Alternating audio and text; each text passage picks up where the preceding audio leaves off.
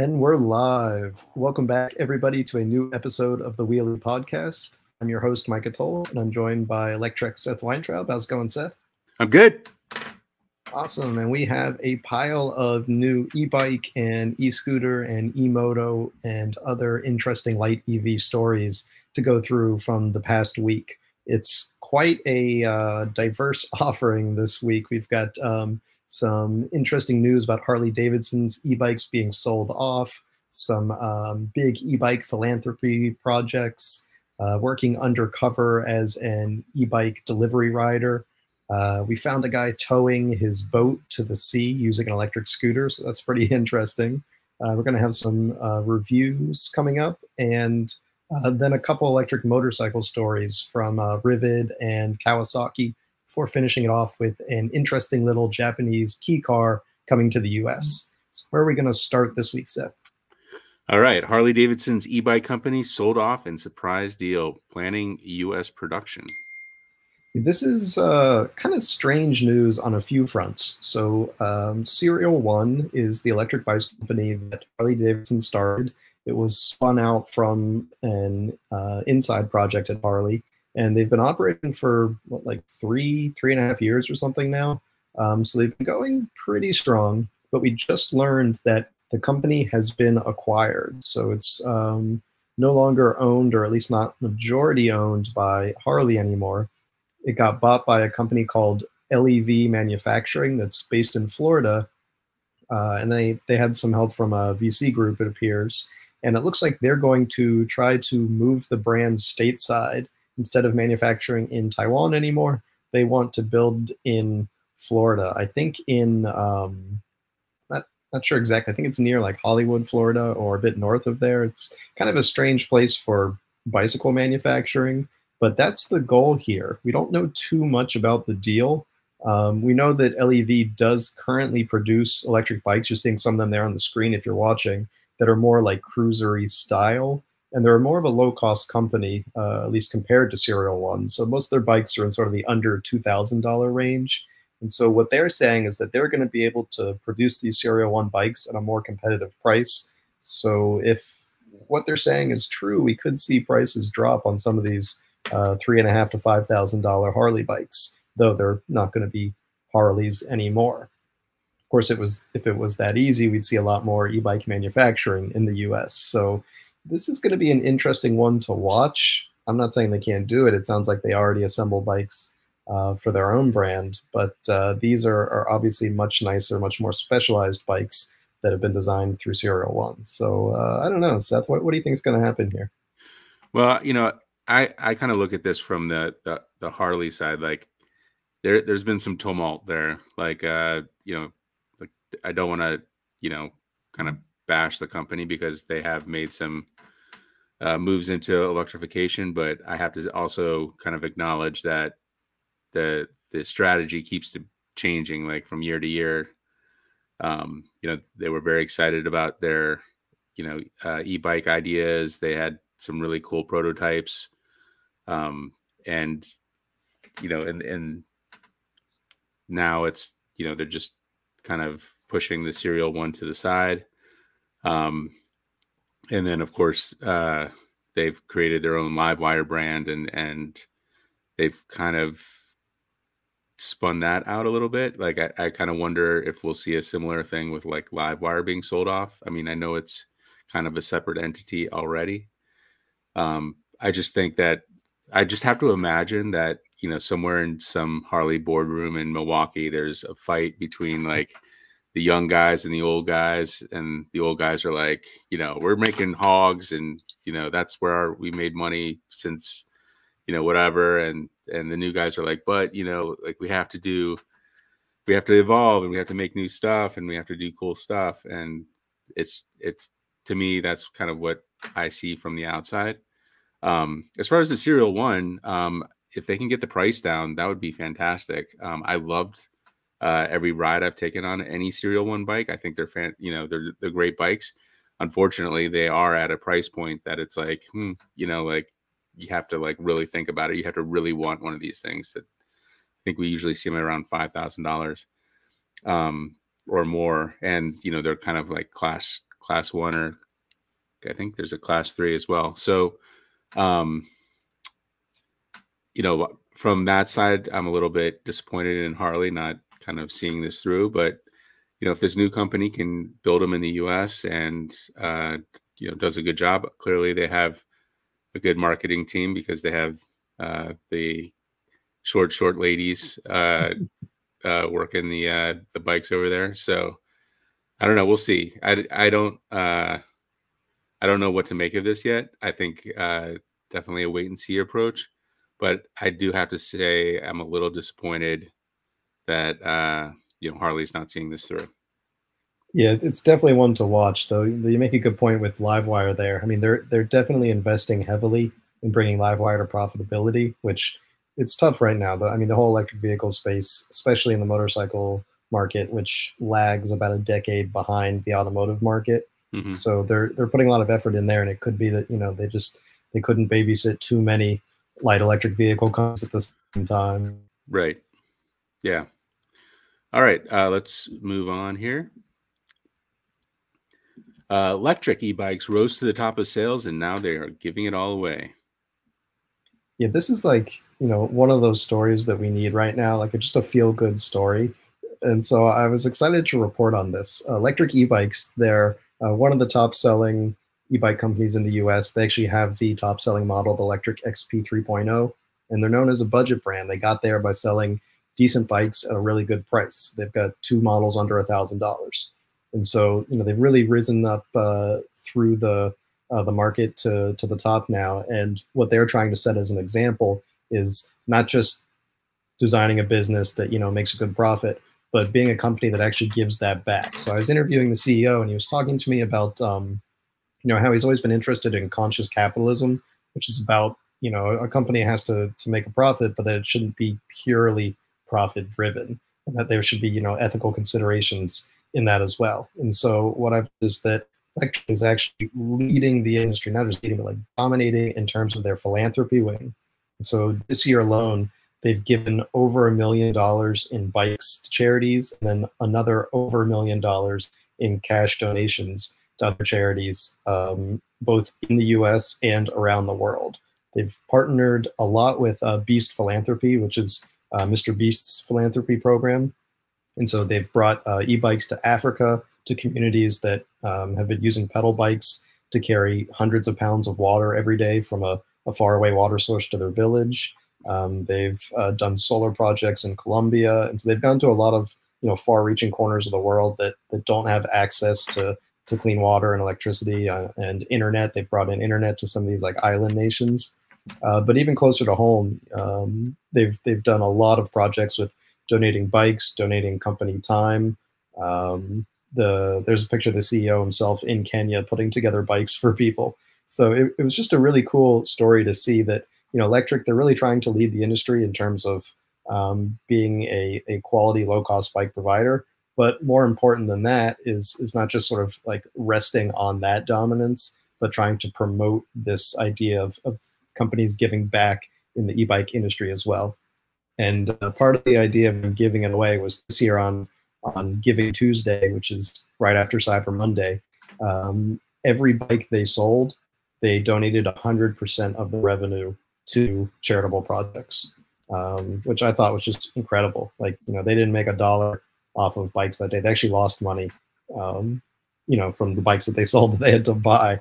So um, I just think it's, it's incredible to see a company that's you know giving millions and millions of dollars every year to charitable projects when obviously they don't have to. You know, it, there's marketing uh, value there as well, but um, you know, th there's no one else that they're really competing against in the giving space in the in the e-bike market. So this sort of warms my heart to see a company that actually cares this much about it. Yeah, they seem to be uh, really like a solid group of folks. Um, I'm always like a little, I guess I'm jaded from from the past, but like you know, FTX kind of stuff. I'm always worried like, oh, it's a front and they're covering up, you know, drug money or you know something like that. But they seem like really good guys. The bikes are solid for the price. Um, you know, I, I saw a couple uh, people say on on just scrolling past Twitter, I think, or um, threads or something that uh, a couple of people just got their Lectric bikes on a Mr. Beast giveaway. So they're clearly providing um, some some bikes to his uh, audience, and obviously there's a marketing component to that, and there's a marketing component to the story here as well. But um, you know, hopefully it's a, a, good example for for other companies to uh, you know spend spend some uh, money on good marketing. Yeah, absolutely, and and also you know they, they probably could have given away a hundred thousand dollars in in free bikes and, and donations and had some marketing. So you know they didn't have to give out two million dollars in in free bikes and that that's a good donations. point. Yeah, it's a significant amount. All right, moving on. I took my e-bike and went undercover as a food delivery rider. Here's what I learned. Is this was a fun a fun sort of personal project for me because I report a lot on delivery riders and e-bikes are, are probably the dominant form of of uh, delivery by bike these days. But um, you know, I, I wanted to get that firsthand experience of what it's actually like, and so I actually signed up for DoorDash and I did a day of food delivery myself to really see what it's like to put yourself uh, in their bike shoes. Uh, the bike I used here is actually an Lectric e-bike. It's the XP 3.0, uh, the company from our past story, which is kind of ironic, and I didn't mean to line it up that way, but it's nice it works. Uh, but I learned a lot about this whole process. Um, for one thing, it's a lot harder work than I expected. I like riding bikes. You know, I've got no problem working outdoors, but um, there is a lot of extra pressure here. It's not just like go to the restaurant, get the food, and ride it to somebody. The, the app is giving you like unrealistic timetables. So a lot of people are encouraged to break traffic rules to try and get there on time based on when the app is trying to tell people, you know, have to deliver the food. It's really hard to find a lot of these addresses. They give you a obscure address which oftentimes isn't even the right place because if they're in a hotel or something, it's not accurate. So you got to call the people, you got to find them, and you're making peanuts. Some of these orders I was making like three and a half dollars to go get someone's food, find them, and deliver it. You know, that's uh, maybe 20, 25 minutes of effort. So you're talking like six, seven dollars an hour. But there are times when you're sitting around for half an hour waiting for an order.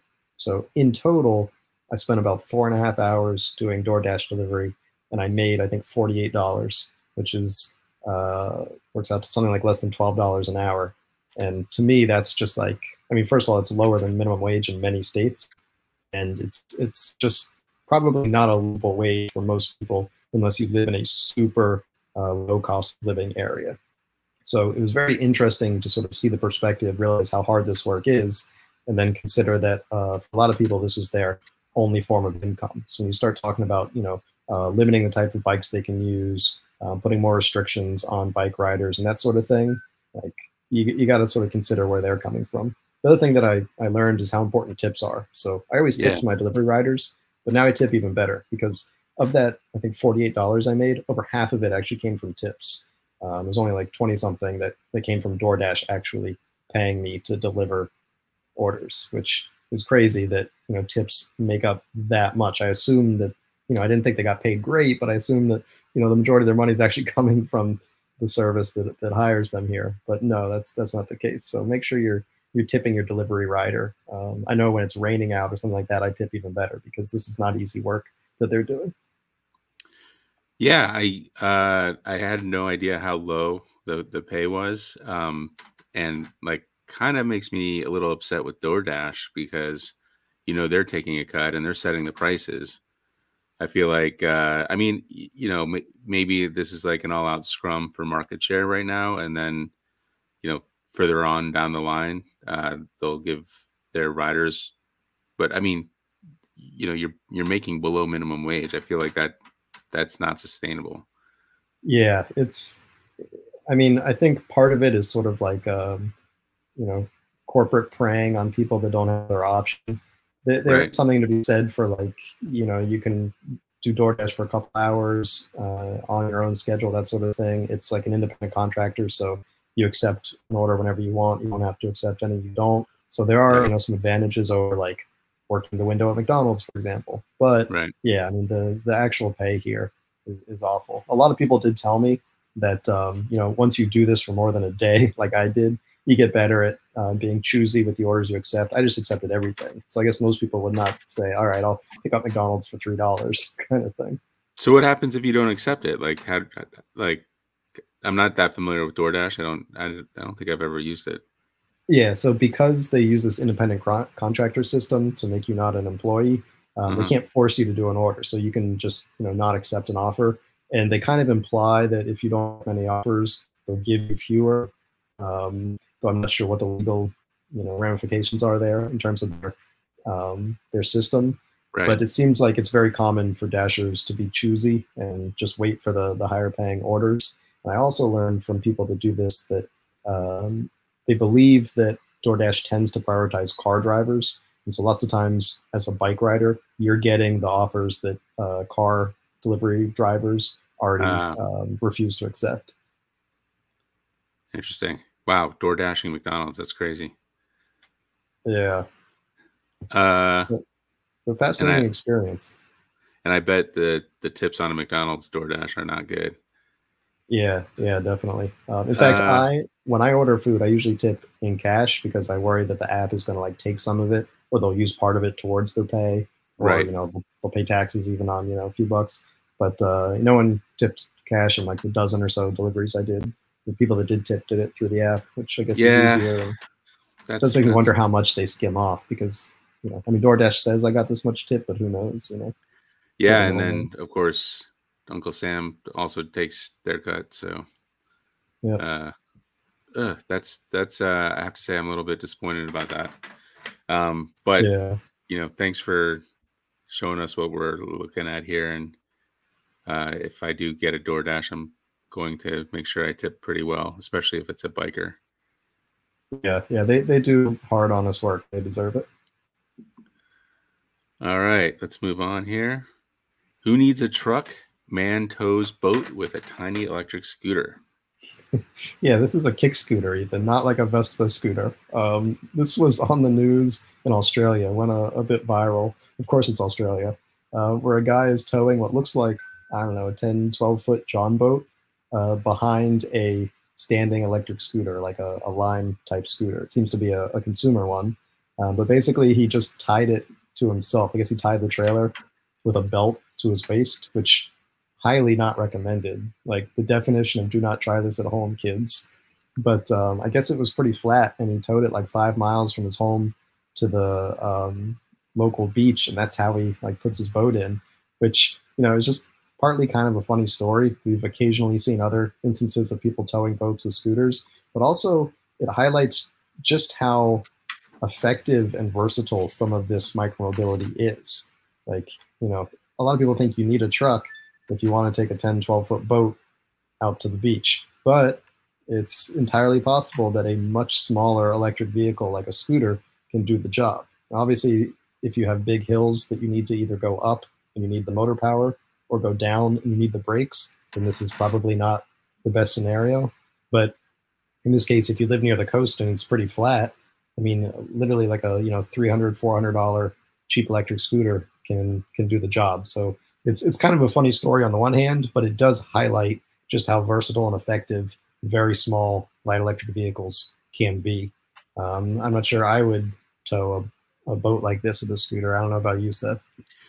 First of all, I think you definitely would. I, I know you, Micah, and I I think I I'm actually surprised that that's not you doing the pulling right there.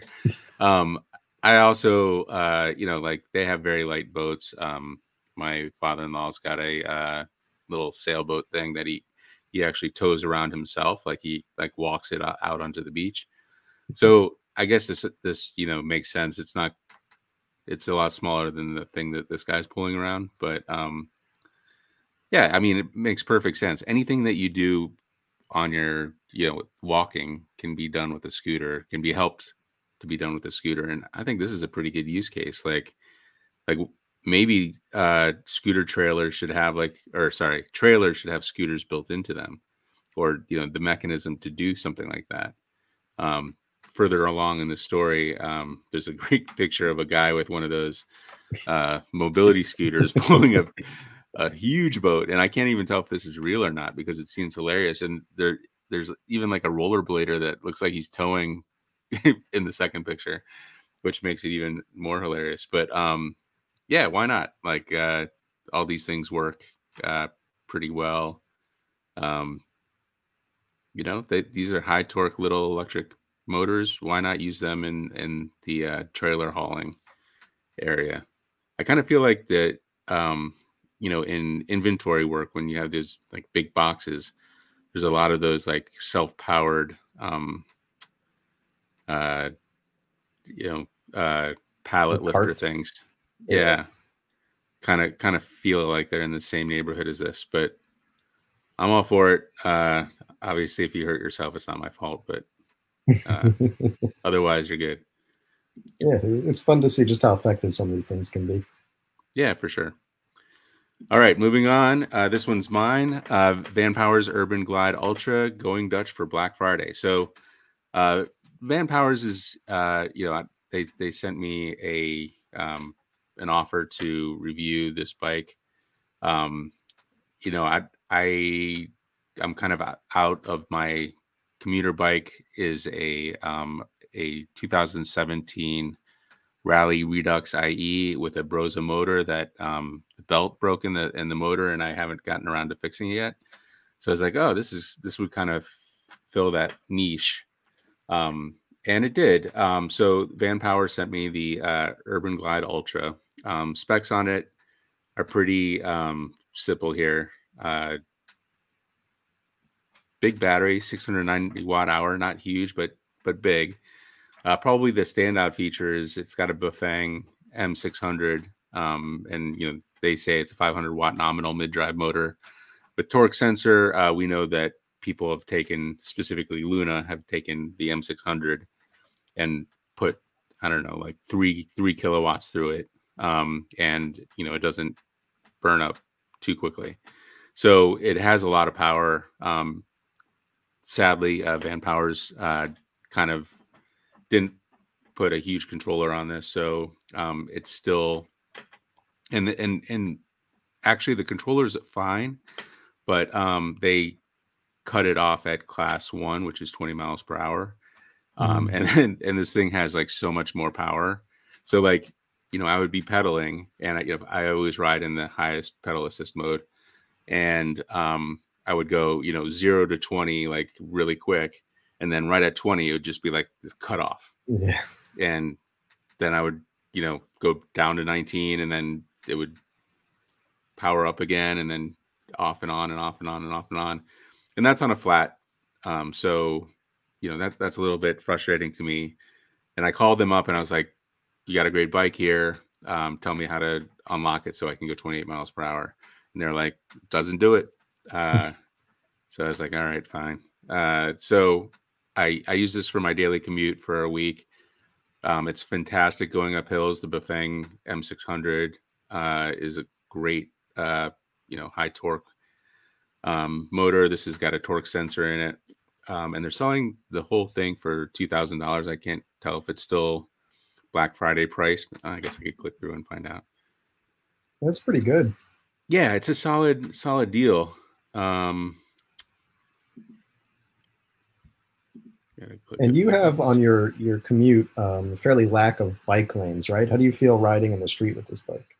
Yeah, so that's the problem. Like, I love the fact that I can go 28 miles per hour on class three e-bikes, and this one um, does not go that fast. So, it, at 20 miles per hour, I do feel a little. Um, uh, it went up a little bit in price.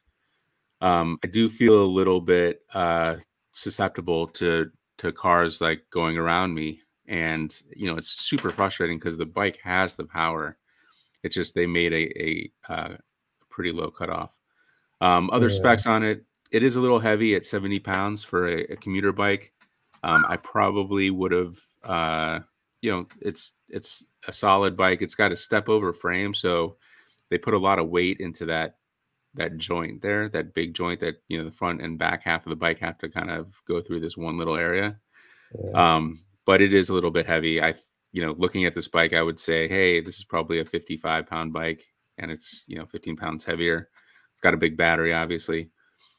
Um, one nice thing is um, the suspension is not, you know, a lot of a lot of cheap Chinese bike companies put the worst suspension on a bike possible, and just to say that it has suspension, the suspension actually works. It works well, um, and then they have uh, a Zoom uh, seat post uh, suspension that also works really well. So it was a very smooth ride. Um, as I said in the review, I think um, the the tires were a little bit um, uh, unimpressive. Uh, I think they're Kendas. Uh, I would have loved to seen uh, Schwalbe Big Bens on there, like on my other bike.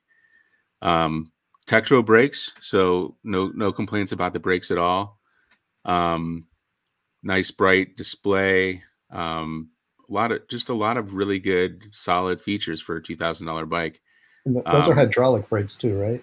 Yeah, hydraulic uh, Tektro brakes. Um, solid derailleur. Um, I saw it's a nine speed. That looks like a micro. Yeah, shift. yeah, nine nine speed microSHIFT. Um, you know, range. They, you know, they of course said sixty-five to seventy miles. Um, if you're going, you know, full pedal assist, um, you you might get up to forty miles, uh, depending on how much leg you put into it. Um, which is still, you know, a solid uh, commute range probably go a couple days between charges. Uh, one thing I didn't like, um, so it did have a four amp uh, charger, which is nice. Um, usually the default is a two amp charger, something like that, um, at 48 volts. Uh, but it does have like a proprietary. I don't know. Have you seen this uh, connector, Ben? Uh, sorry, uh, yeah. Micah. Yeah, once in a while. That is annoying. So yeah, I mean, if if you need to buy a new charger, it's going to be this. And then, of course, um, the charge port and the power button are at the bottom of the uh, down tube, which is like, you know, it's not a huge deal, but like every time you charge it up, you have to kind of, you know, reach way down and um, it could be easier. Yeah, so, a lot of people are getting a step through bike specifically because they have slight mobility issues. So it would have been right. nice to see that located high. Yeah. So um, lots of good things about the bike. It had a bright uh, uh, front light. Um, like again, the suspension is good. The uh, the back um, rack is very solid. Um, loud bell. Uh, just all around solid bike. But um, you know, a few things that I think they could work on for version two. And and Van, Van Powers um, is a you know kind of Chinese e-bike conglomerate that includes a lot of brands that uh, we've heard of in the past like Antier and some other like lower quality stuff. So it's really kind of refreshing to see a higher quality bike come out of that. Yeah, definitely. Um, it's great to see more of those, you know, mid-level options as opposed to just, you know, a pile of, of budget options. At 2000, that was a crazy price. At, at 24.99, it's it's still interesting because it looks like they did a nice job with this bike. Yeah, and you know, like this is clearly a Dutch style e-bike and you know we i did some research on Vanpowers and i saw that they tried to label this bike or call this bike the gazelle previously. Oh.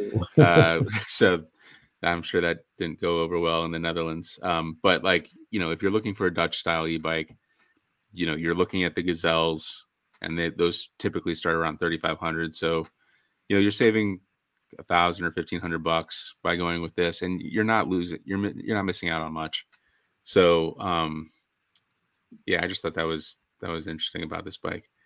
Yeah, but we should. The, sorry, go on. No, go ahead.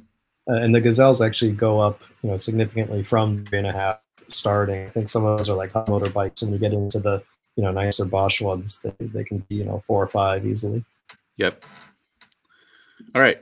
Uh, America's latest low-cost commuter electric motorcycles expand deliveries. Yeah, this is the uh, Ryvid Anthem, which is a very interesting electric motorcycle. It's in some ways I see it as kind of the antithesis to the Sondors Metacycle.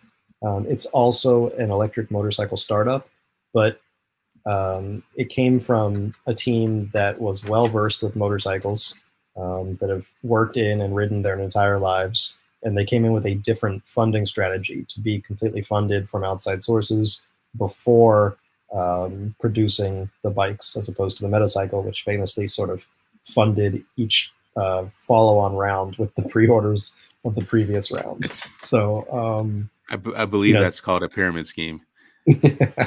um, so uh, it's great to see that the Ryvid Anthem here is is not only um, starting deliveries, which I think they did back in September, but they're really ramping up to um, across the country now. So they've got bikes going out um, in probably you know half the states in the U.S., but to every corner. You know, they're in Washington, they're in Florida, uh, they're in California. The ones in California apparently being delivered by the team themselves, which is pretty cool. I met some of them, including the founder, and just you know, real great guys. Um, the uh, the founders. Um, he's like super into engineering, and he comes from a gas motorcycle background and automotive as well. Apparently, when he was in college, he like rebuilt a car in his dorm room.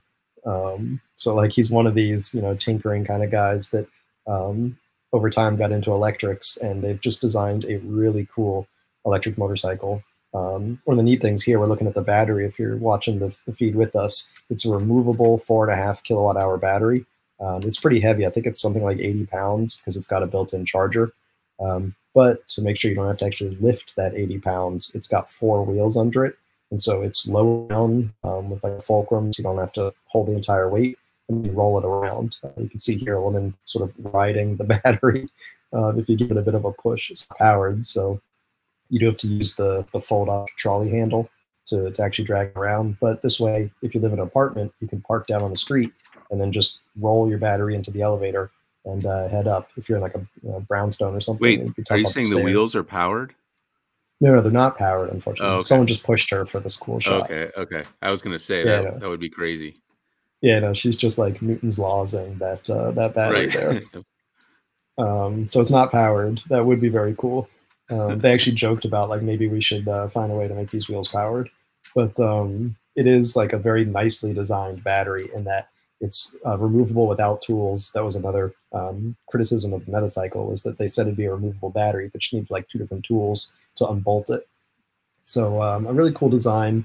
Uh, it started at like $7,800, which was um, a pretty good deal for a 75 mile an hour, 75 mile range bike. Now it's up to, I think, um, 8,900, which is a little pricier, but it's a very nicely designed bike. It's got some other cool features like the seat actually moves up and down with an actuator uh, by about four inches. So not only can you share the bike with you know friends and family that are different sizes, but even while you're riding, you can adjust the seat height. So you know you can have it up higher while you're riding, so that a little more comfortable. Your legs aren't as cramped. But when you get to a red light, if you're shorter, you can just drop the seat down so you can flat foot it uh, at the stops. So just like really interesting innovations that are designed into this bike, and it's cool to see them um, shipping, you know, nationwide and really ramping up the the sales and deliveries now. So uh, you know, my my hats off to the the Ryvid team.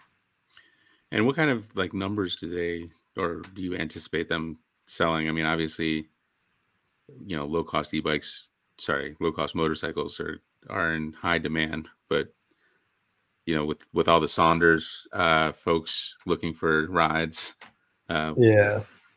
What do you think um, these guys um, can put out?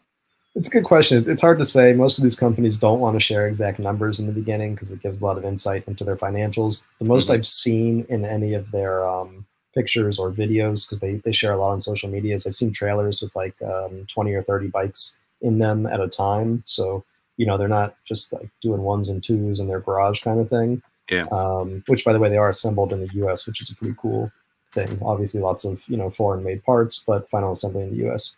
Um, but I don't think they're doing, you know, like uh, hundreds of these at a time either. So they're, they're still very much in the, in the early stages. But uh, uh, I think, you know, if they do hundreds of units in the first year, then they could be positioned for thousands of units in the second year. That's great. Yeah. Yeah, and they're pretty good looking bikes too. Uh, that you know, it's it's a little bit takes a little bit to get used to the kind of the overhanging battery, but right. um, yeah, I think they look pretty solid yeah, there's there's some real engineering in here that I think um, you know deserves some uh, some credit. Totally. All right, let's move on. Uh, all right, another motorcycle. Uh, closer look at Kawasaki's new electric motorcycles, the Ninja E1 and Z E1. These I saw recently at the uh, Milan Motorcycle Show. Uh, my first time seeing them in the flesh here, so uh, I was able to get these up close uh, pictures of them we've known the specs for a little while now. They're not very impressive. I would say the best thing about the bike is the way that they look. Um, you know, Kawasaki obviously has a, a, storied history in um, motorcycle design, and so it's great to see that they've um, you know built some, some nice looking bikes here. This is the Ninja, which is their faired version, and then they have the Z E1, which is like their sort of um, naked street bike. Uh, the the downside here though is that the performance is just really poor. Um, they're like at best 125 cc equivalent. The batteries are like 3.2 kilowatt hours. I want to say there's two removable batteries, so quite small, um, maybe 50% smaller than the not giant battery we just saw on the Ryvid. And um, the range is is pretty poor considering. Uh, I think it's something like um, 30 something miles at higher speeds. So, you know, this really? is very much going to be an urban commuter bike, something that you'd use just in the city. Uh, the speeds that it gets up to, there's a boost button to get it into, I think, the, the 50s, but I think it mostly cruises in like the high 40s miles an hour. So obviously not a highway bike. It's, it's almost strange to see like a Kawasaki Ninja that you can't take on the highway. It's just like, it doesn't compute in a way. But um, this is, of course, Kawasaki's first stab at electric motorcycles. So on the one hand, I want to commend them for finally doing something. They're the first of the big four from Japan to actually put out a full-size electric motorcycle. Um, but the performance here is just like so muted that uh, I think it's going to be hard to find the right audience. It's really limited to like purely urban only riding, which is a real use case. There are people that live in a city and they just want to be able to like ride around the city. Um, it's not that there isn't a rider for this bike, but it's it's very limited. Uh, the upside though is that they're fairly affordable. They start in the low 7,000s. I think it's like 7,300 um, for the um, uh, Kawasaki Z. So, you know, they're not super expensive. You compare that to a Zero, Zero start at like 12,000 now. So reasonable-ish. Uh, obviously more expensive than a combustion equivalent, but as, as far as the electric motorcycle market goes, you know, they're not, they're not gouging. I'm not spending a lot of money on batteries either. but right. uh, reasonable-ish for the electric market, I would say. All right, so I'm going to adorn the uh, tinfoil hat here, and it, is this something that like the the gas motor folks at Kawasaki are like, all right, you want an electric vehicle? All right, we'll make you an electric vehicle, and it's going to suck, and you're going to hate it. I mean, I kind of feel like why not just make one that has i mean it's very easy to have a lot more power in an electric motorcycle. I mean are they try was it to keep the cost down? I, that's the only reason i only legitimate reason i can see for not making this a more powerful bike especially with the ninja brand. Yeah it's it's a bit of a head scratcher. I think that i mean they've just gotten such a, a late start on this compared to other other companies that I think they're trying to start, you know, small and something they can manage. Um, I mean, it, it, it could be a bit of a tinfoil hat situation where they just don't want to actually create demand for an electric motorcycle, so they build something no one wants. I don't think that's what happened here. Because, um, I mean, like we know Japan, if, if they didn't want to build electric vehicles, they just wouldn't build electric vehicles, right? right. Like, um, it's, it's kind of in the culture. So the fact that they're even doing this, I think shows that they see it as a future.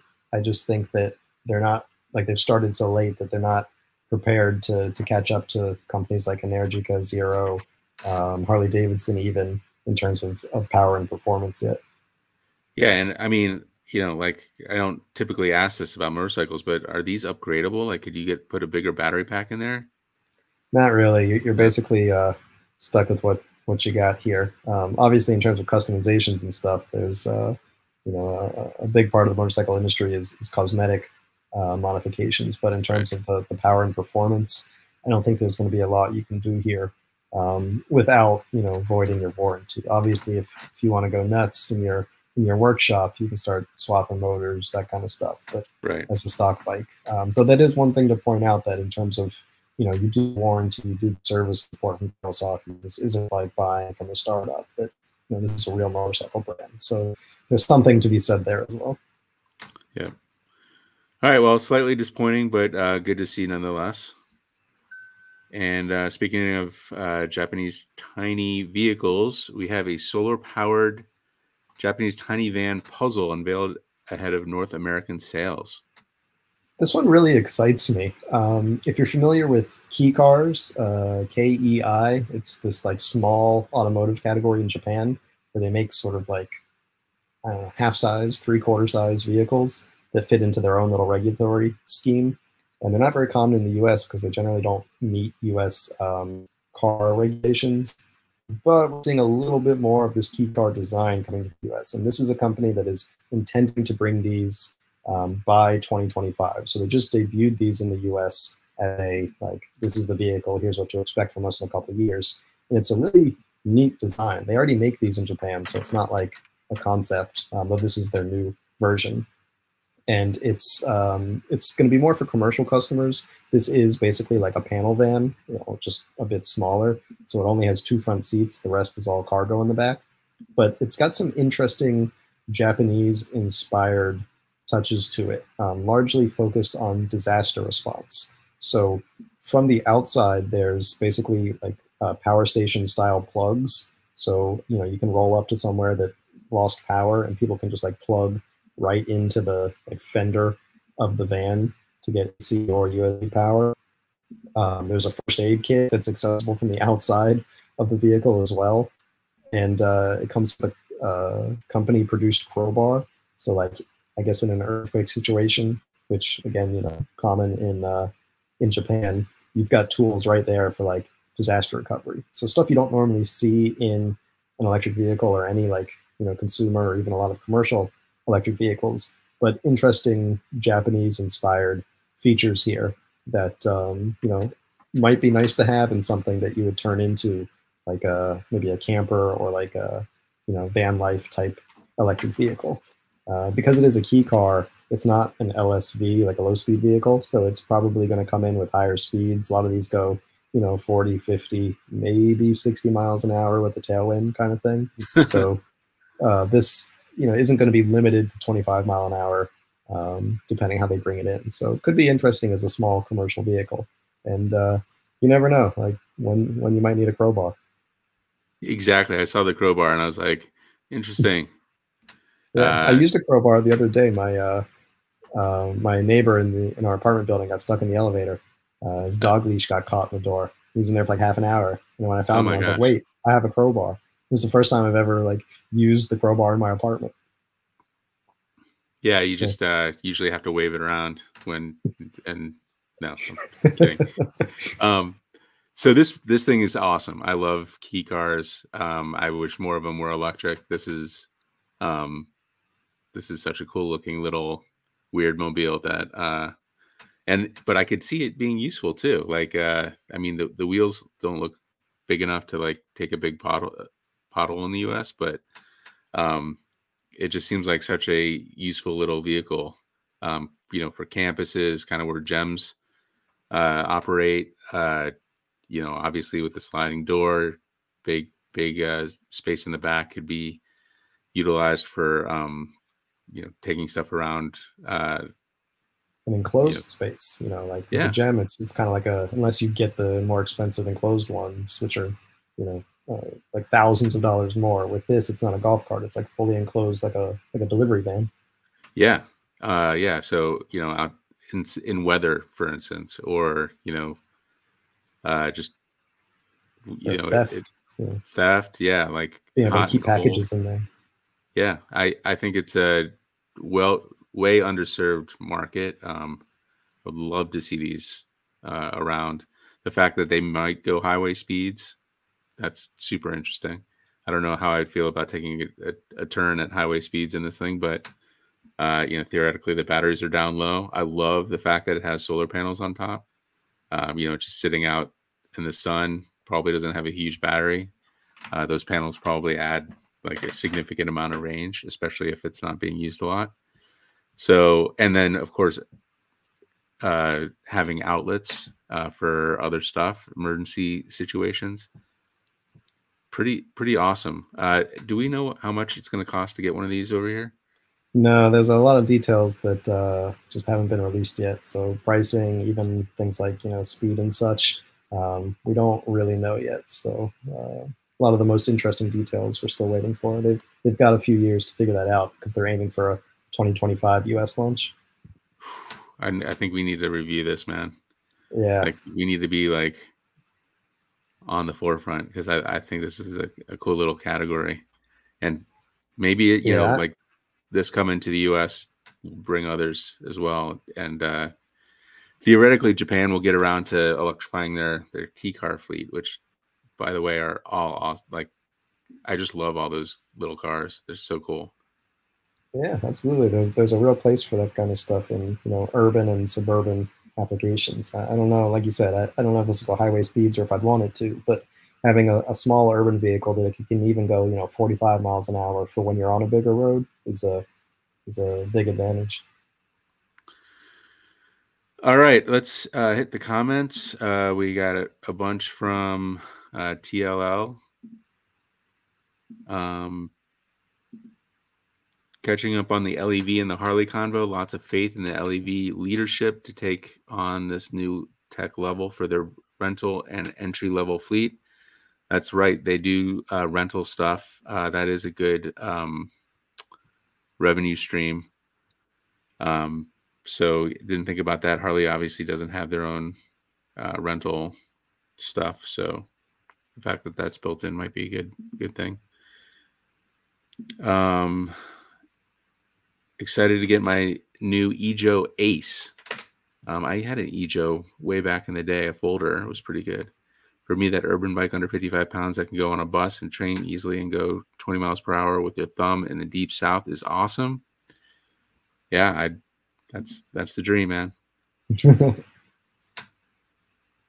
an urban environment with speed limit is 35 is so much more safe in reality and perception, especially off the E line. All right, suspensions are worth it. Two things I look for in a rigid fork. Re- recyclery are most common to clamp PVC tubes in the fork to make it a rigid fork. Okay, so uh, he asked about the manufacturer selling replacement chargers in the Vanpowers bike.